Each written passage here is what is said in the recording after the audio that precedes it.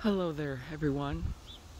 This is the Kilmanagh Poet, wishing you a happy November 1st, 2021.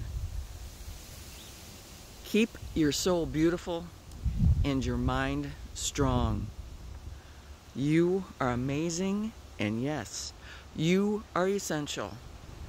Just a few gentle reminders on this glorious and wonderful morning.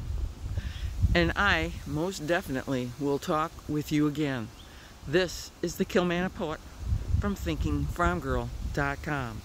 Love, blessings, and good health to all.